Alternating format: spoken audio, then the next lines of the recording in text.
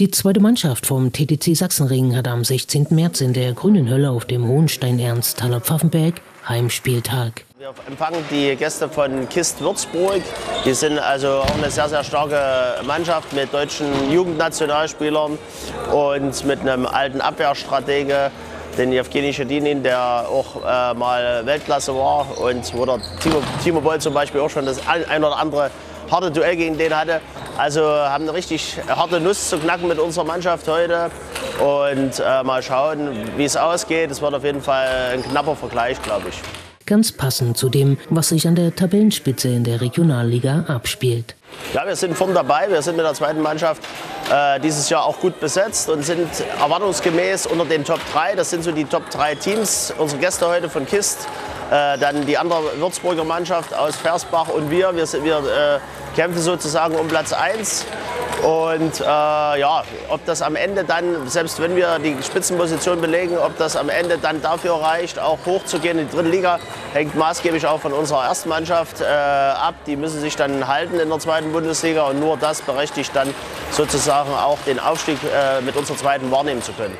2023 gelang der Aufstieg in die zweite Bundesliga. Dort möchte man natürlich verbleiben, aber... In der zweiten Bundesliga haben wir jetzt auch äh, wirklich einen harten Kampf, äh, den wir jetzt bestreiten mit den anderen Teams, die da unten drin stecken. Erwartungsgemäß ist die zweite Bundesliga ein ganz, ganz anderes Pflaster für, für den Verein, für alle äh, die damit sozusagen tagtäglich zu tun haben. Das ist reiner Profisport, äh, zumindest das, was das Sportliche anbelangt. Ähm, das Wirtschaftliche hängt dann ganz, ganz vielen Sportarten hinterher, aber das, das ist reiner Profisport. Die, die Jungs, äh, die bereiten sich wirklich akribisch auf alles vor und das war uns klar, dass wir dort dieses Jahr in der zweiten Bundesliga wirklich nur um den Klassenerhalt kämpfen können. Alles andere ist völlig utopisch.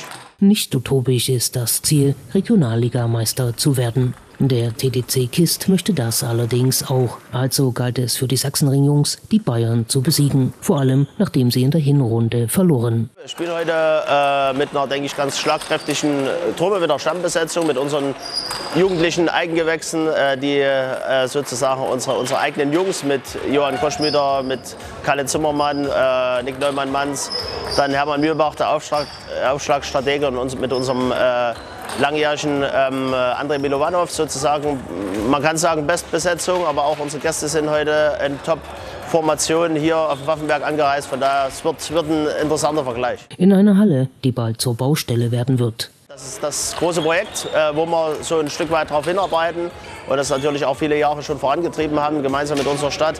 Äh, die Pfaffenberg-Turnhalle soll renoviert werden, soll in, sagen wir mal, in moderneres Zeitalter überführt werden, weil sie doch schon ein bisschen in die Jahre gekommen ist. Äh, ja, und das Thema wollen wir jetzt ganz einfach in den nächsten Monaten angehen. Müssen wir auch angehen und äh, sind dort in der Planungsendphase, kann man sagen. Und wir hoffen mal, dass es dort im Mai mit Baubeginn losgehen kann. Wann das Bauprojekt abgeschlossen sein wird, kann man heutzutage nicht mehr zu 100 Prozent sicher sagen. Sicher für die Pfaffenberg-Turnhalle ist jedoch zu 99,99 Prozent.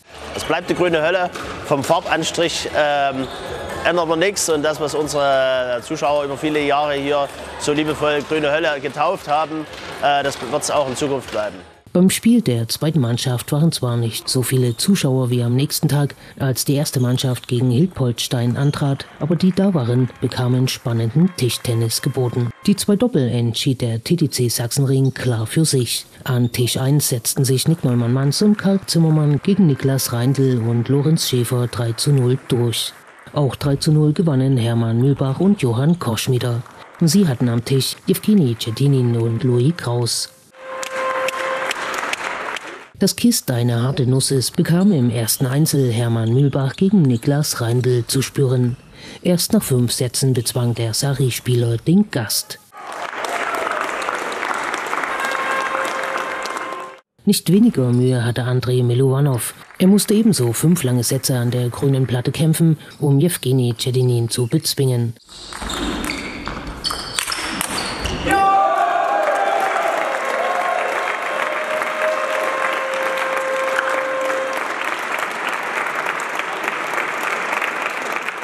Johann Koschmieder hatte im zweiten Satz gegen Lorenz Schäfer einen Hänger, fing sich allerdings wieder und holte nach vier Sätzen den nächsten Punkt für die Gastgeber. 3 zu 0 setzte sich Karl Zimmermann gegen den stark spielenden Louis Kraus durch.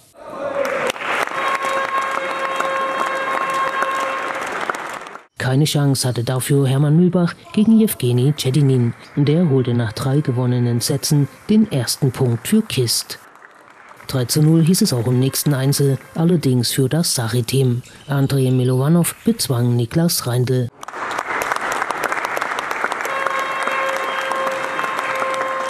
Johann Koschmieder hatte fünf Sätze gegen Louis Kraus zu bewältigen, konnte sich jedoch nicht durchsetzen. Das letzte Einzel ging wieder an das Sachi-Team. Karl Zimmermann siegte mit 3 zu 0 über Lorenz Schäfer.